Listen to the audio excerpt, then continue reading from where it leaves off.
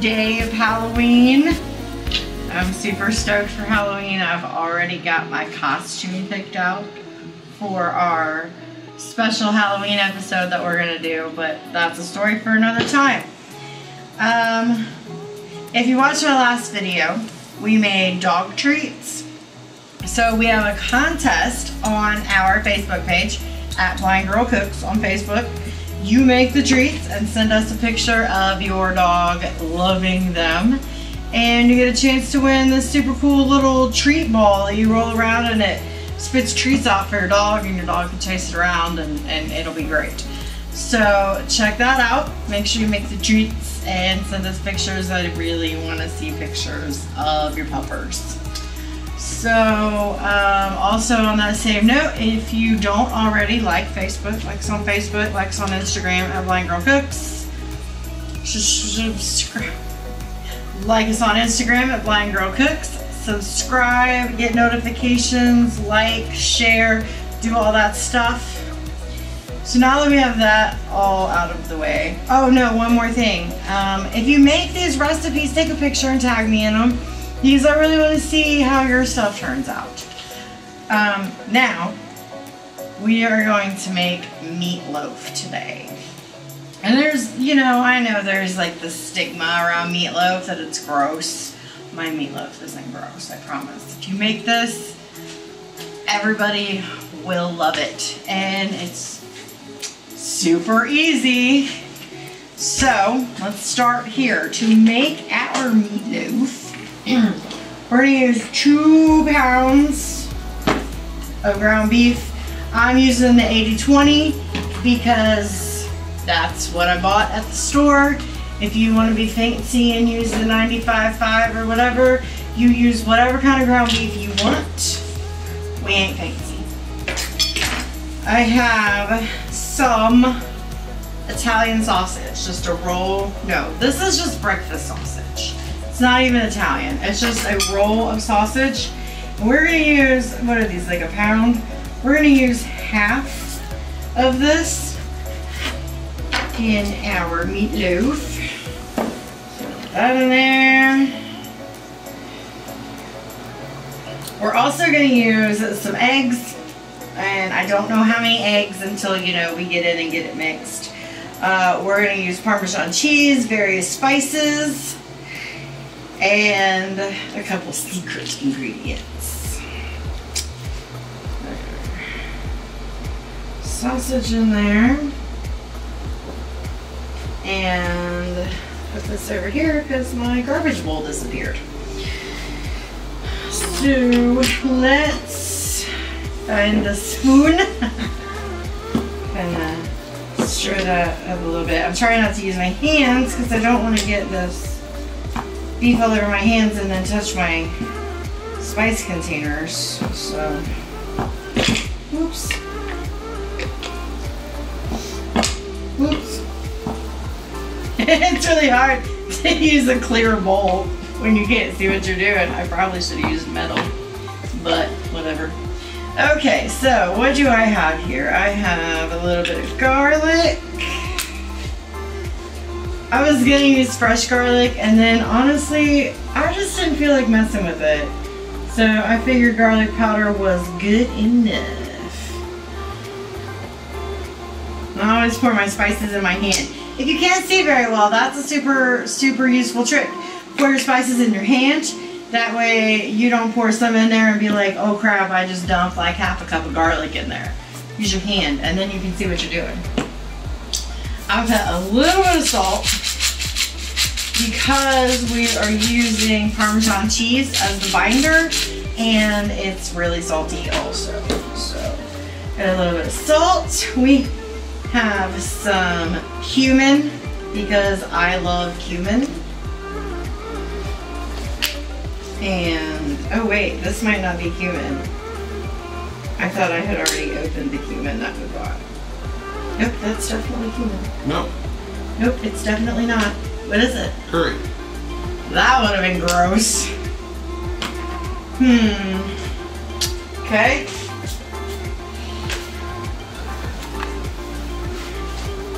we are gonna put some cumin in here. This is all these spices are optional. Use your favorite spices.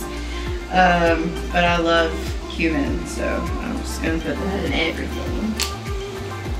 And some pepper.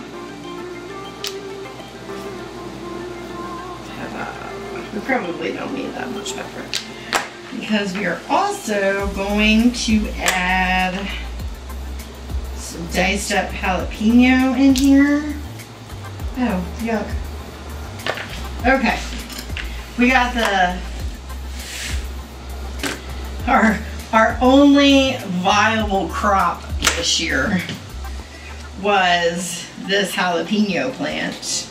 I planted some spaghetti squash the other day, so I'm pretty hopeful for those, but we we harvested the jalapenos today.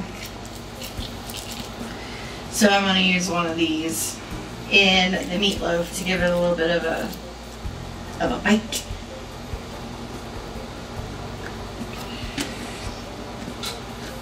And something I learned this year by asking Alexa, um, you can freeze peppers like this.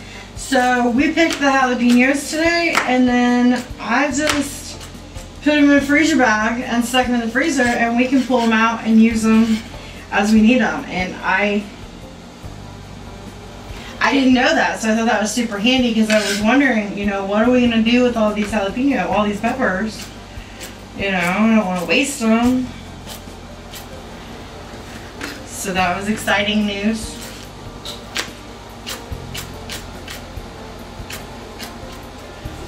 Alright. Get our jalapeno all chopped up.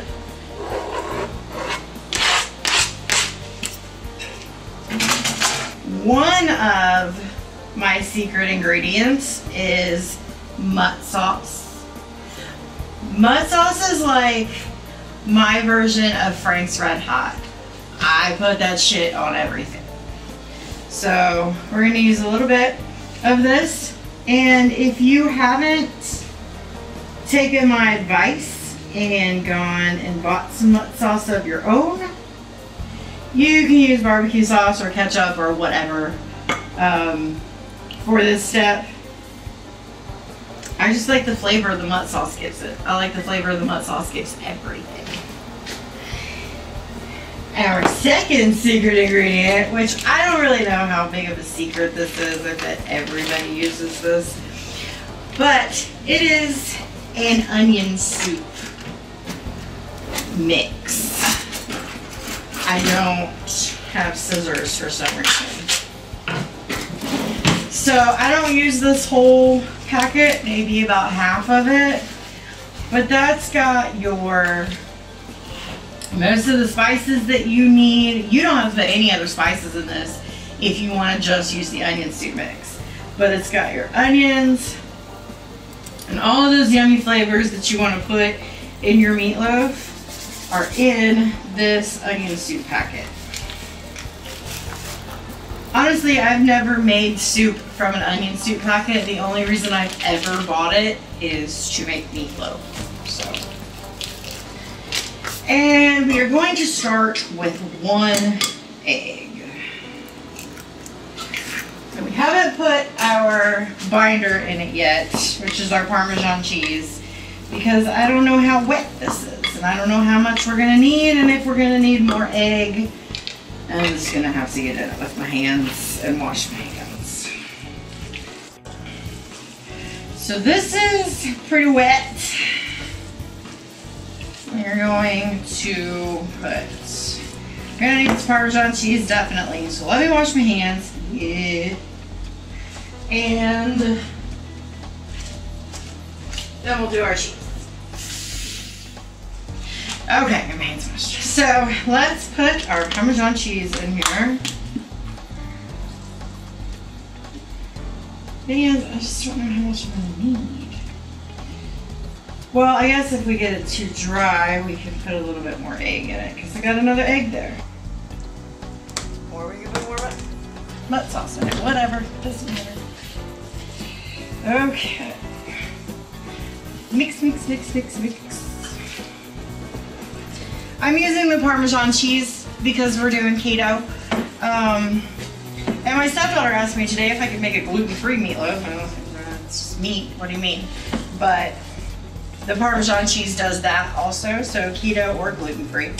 Uh, but you know, regular meatloaf recipe if you're not doing keto is crackers or breadcrumbs. But honestly, this Parmesan cheese gives it a really, really good flavor. I think I would do it that way either way. So I have my little pan over here. Let's get the egg out of it. My little baking dish. Plop that meatloaf down in there. I have a loaf pan too, but the loaf pan is kind of small and I think it takes longer to bake the meatloaf in the loaf pan. Um, because it's it's small like that. Sorry, I got distracted by a big chunk of jalapeno. I forgot that I put jalapeno in it and I was like, oh my god, what is that? This jalapeno.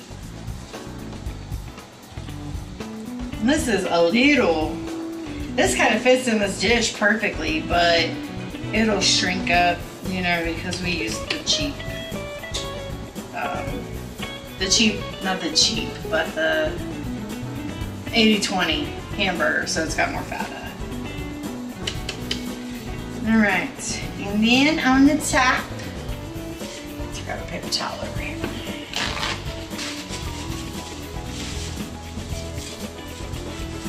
So on top, I have a mix. I have some barbecue sauce and some ketchup in here. And I'm just gonna stir those two things together. The barbecue sauce and the ketchup are going to add a little sugar and a little carbs to your meatloaf. Um, so if you're wanting to stay completely no carb at all, then you know, a future alternative, we are still doing a little bit of carbs, like 25. So this tiny bit won't won't make much of a difference. Put this on the top. We are icing our meat cake here. Meat cake. Put this on the top and then that was meat roll. shapes of love. Anyway, um, I lost complete track of what I was doing. We're going to, when this is a little bit closer to being done, we'll take the foil off and put some more of that on there and let it kind of bake and get bubbly and yummy and it's good, trust me. So I'm gonna cover this. I have my oven set to 375 degrees Fahrenheit. I don't. If you're in Canada watching this, I I don't know the computer. What is 375 degrees Fahrenheit in Celsius? 375 degrees Fahrenheit is 191 degrees Celsius. So if you are Celsius, 191 degrees. If you don't have an Alexa, you should really get one. Hashtag not sponsored, but willing to be. All right, so we're gonna put this in the oven. This is gonna take at least an hour. So I'm gonna bake this, put this in the oven, and then I'm gonna go do some stuff, and I'll come back in about an hour and check on it and see what's happening, and then I will come back to y'all and show you the meatloaf. So hold on, we'll be back.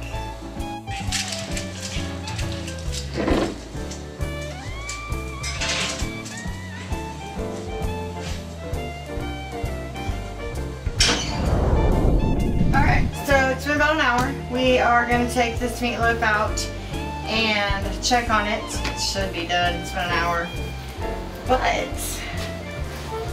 I have been working with the Goodwill Easter Seals in Dayton uh, to find a job and, and to get some things to help with being blind.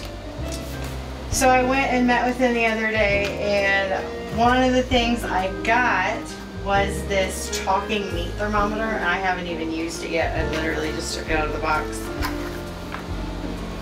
Um, so we're gonna check this out. It's got, she said you can hang it and it's got a magnet on it. Oh it's got some cool stuff. Let's go to 76.8 degrees Fahrenheit. It is 76.8 degrees in my kitchen. It is so freaking hot in here. We also got these bad boys. I can stick my arms all the way in the oven if I want to with these. So, we're gonna stick our arms in the oven. Oh, oh, it's so hot in there. There. I think I missed the trivet. There we go.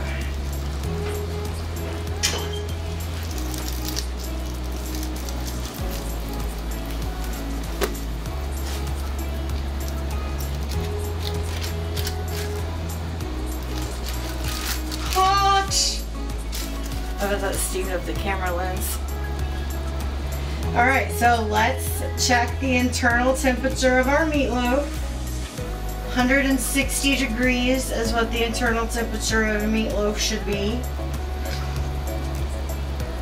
98.6 is what I figure the internal temperature of a meatloaf is, but maybe that's a different thing. So there, get it in the middle. 160.7 degrees Fahrenheit. Perfect. So we are going to put some more of this stuff on top. Put it back in the oven for a couple minutes while we make our side dish. And then this is gonna kind of caramelize on there. You can see,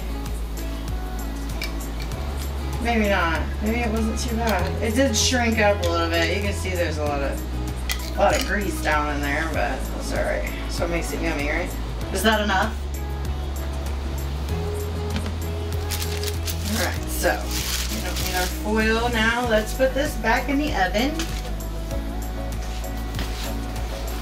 Our giant pot holders. It's like a, like a circus seal.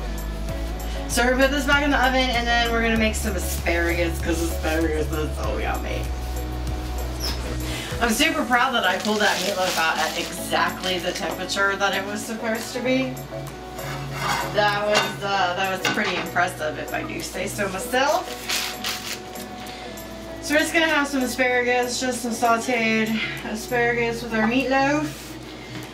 I like mashed potatoes with my meatloaf, but I can't find carb-free potatoes. Well, that asparagus.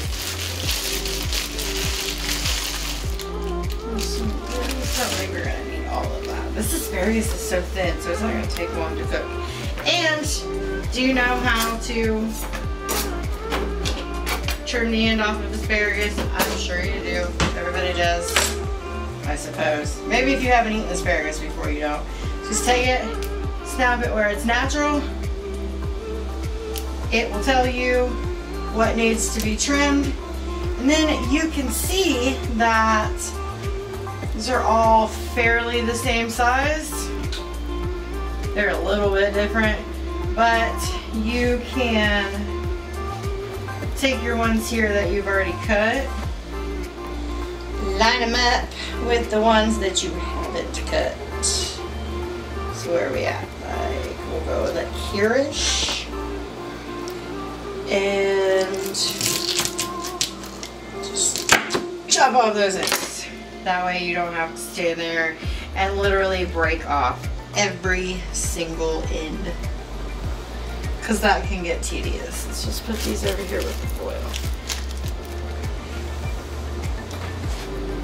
I am going to use to cook our asparagus. Uh-oh, I put the pepper away. I'm gonna find the pepper. It's one of these that I just sat up here. I know that. Might be this one. Black pepper, I found it. First try.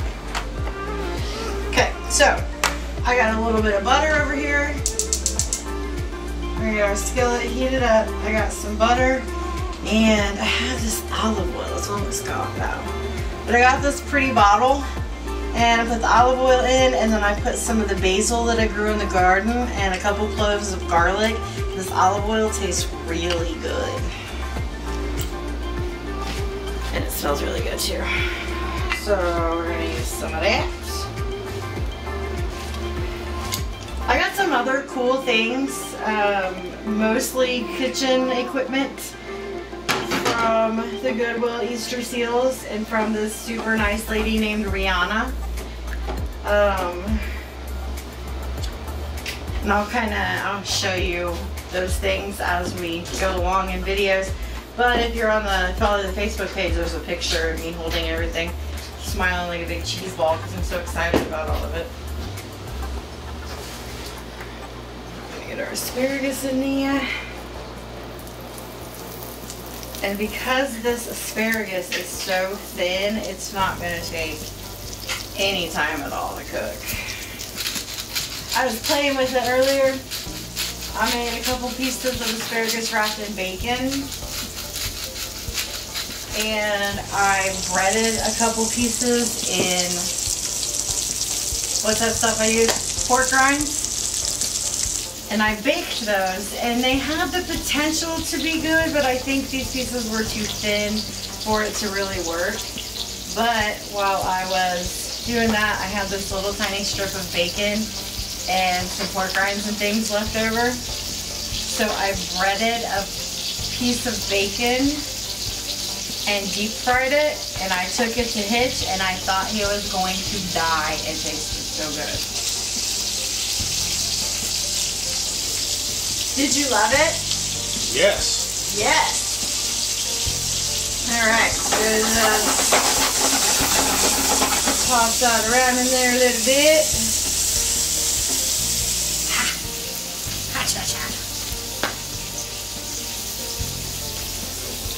All right, so our asparagus is done.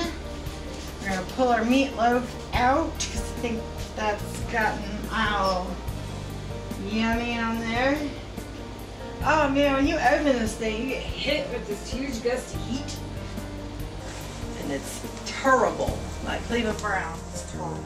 Did you guys notice my cauldron while I was over here cooking? It's really, really hot. That's cool. And my hat. I am so ready for Halloween, guys. You have no idea. So ready. Let's put them on. Where's the stuff? Right there it is. Okay, hang on to the end of this. Give it a slice. I'm gonna take the end piece because the end piece is the best piece. Also, I think I need to drain some of that grease out of there. We'll do that after we taste it.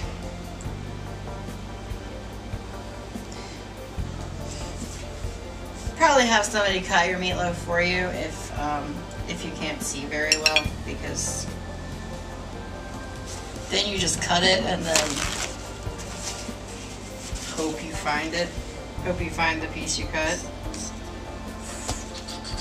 Got these neat tongs. These are the bamboo tongs I got with my cool little bamboo set. I love these things. A few pieces of asparagus here. Two. So this is the tiniest plate ever, but we just need to take a couple bites, right? That's all we need.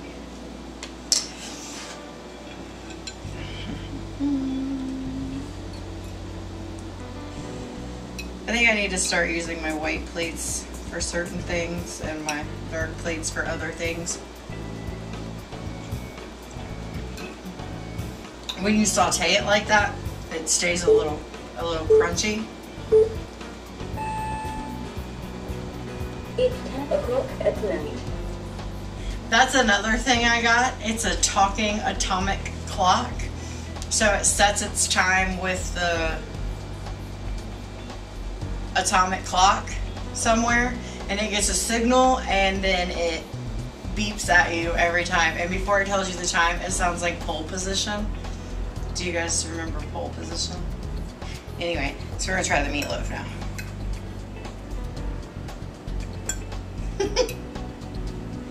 Think this is a piece of meatloaf. This looks like a really big piece of meatloaf. Like this is gonna burn my mouth. And that's no bueno.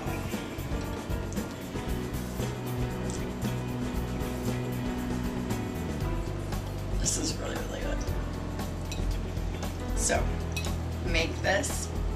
This is one of those things. I want you to make it. Take a picture of it. Tag Blind Girl Cooks in it so we can see what your meatloaf looks like. Let me know how good it tastes. So I think that is everything that I have for you guys today. Again, don't forget Facebook and Instagram, both at Blind Girl Cooks. Uh, blindgirlcooks.com on the web. And like, subscribe, get notifications. Oh, don't forget the contest that we're doing. Send us pictures of your pet enjoying the treats that we made in last week's video. And that is from October 4th, which is today, to October 25th, 2020, in case you're watching this video many years in the future. That's when that contest goes. So I am going to go eat dinner because I am starving. And I will see you guys later. Bye!